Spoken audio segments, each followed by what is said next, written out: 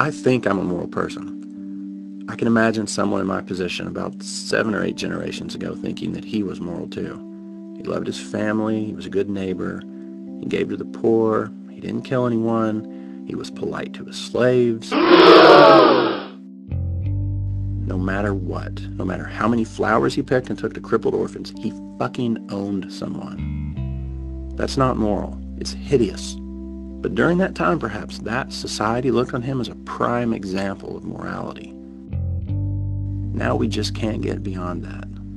That guy could have been one of my ancestors, but seriously, fuck him. Couldn't he see it was wrong to own slaves? Did it ever cross his mind that maybe it wasn't right?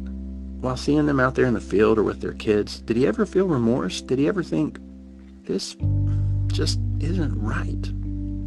Let's come back 200 years to me, and then let's go another 200 years into the future. Maybe my descendants can say the same thing about me. Maybe there's an issue now that we don't see as pressing that those in the future will. I think I have a candidate. Let me take an example of an issue that I struggle with when I bother to think about it. Eating meat. Now this is something I do all the damn time. I love steaks. I love pork. Damn, bacon tastes good. Pork chops taste good. I see the stuff in the store, and I don't think much beyond it being a delicious meal. I only rarely think that this used to be a living and breathing animal. I very rarely think of the life that, say, one of these cows had, standing in some cramped and shitty pen. Its only purpose for existing was to get big enough to get murdered and cut into pieces. I knew a very obnoxious vegan back in graduate school. I'm sure today she's throwing paint on celebrities or planning some prison break rescue at a zoo. I remember her being very fierce in her beliefs. She was passionate, but Jesus, did she go about it the wrong way. One morning I had bacon and eggs, and she yelled at me that I was eating murdered pig carcass with a side of chicken abortions.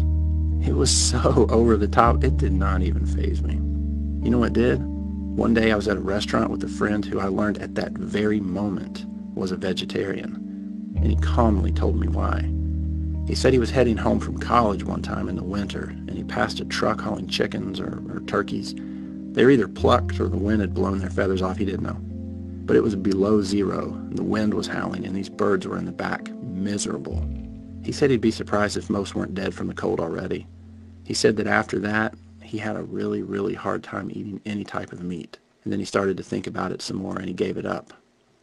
His sincere angst and real concern did far more to make me think than anything that aggressive vegan could have ever done.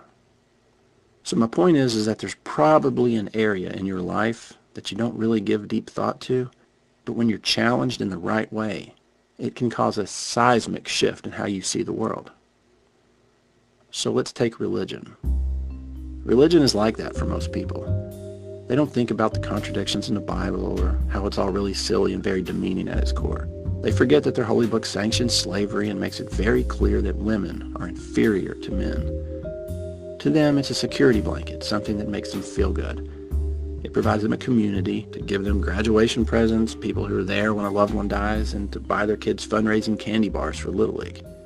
Now, sure, most know that Noah's Ark falls apart with the slightest scrutiny. So they don't count up the animals and then figure out the size of the boat and do the math.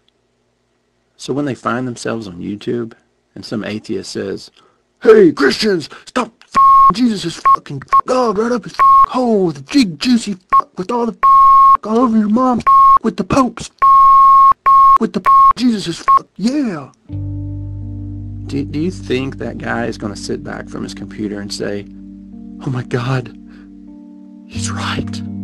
There's no God. Yes. No, he's not going to pay attention to anything you have to say after that. But what if you say, hey, look, I no longer believe because blank. And then you show him what you know and you prove that you've thought about it and that you are sincere. I guarantee you that that goes farther. Very rarely will someone change their whole belief system, but if you're lucky, they'll think about it. And they'll recognize that there is a serious, thoughtful opposition to the way they think. And maybe next time they start to talk about Noah's Ark being true, maybe they'll pause and they'll say, well, maybe it's not totally true. Maybe it was a local flood that they exaggerated or something. I don't know. And at that point, You've just changed the way they look at it all. Maybe it's a crack in the dam. Maybe the waters won't come rushing out anytime soon. But enough cracks over enough time add up. I know that someday I'm going to have to sit down and figure out my future with eating meat. I know that there can be unimaginable suffering by these animals in order for me to eat burgers and chicken wings. I've already stopped eating veal, and I've already stopped ordering more meat than I can eat. I also know that at best, I'm utilizing cognitive dissonance. And I know at worst, I'm being a hypocrite. Maybe you feel the same way about eating meat, maybe not. Maybe there's another similar issue in your life like this, and you understand what I'm talking about. Even the best of us can be faced with pure logic and undeniable facts, and it's still hard to change a belief system. Sound familiar?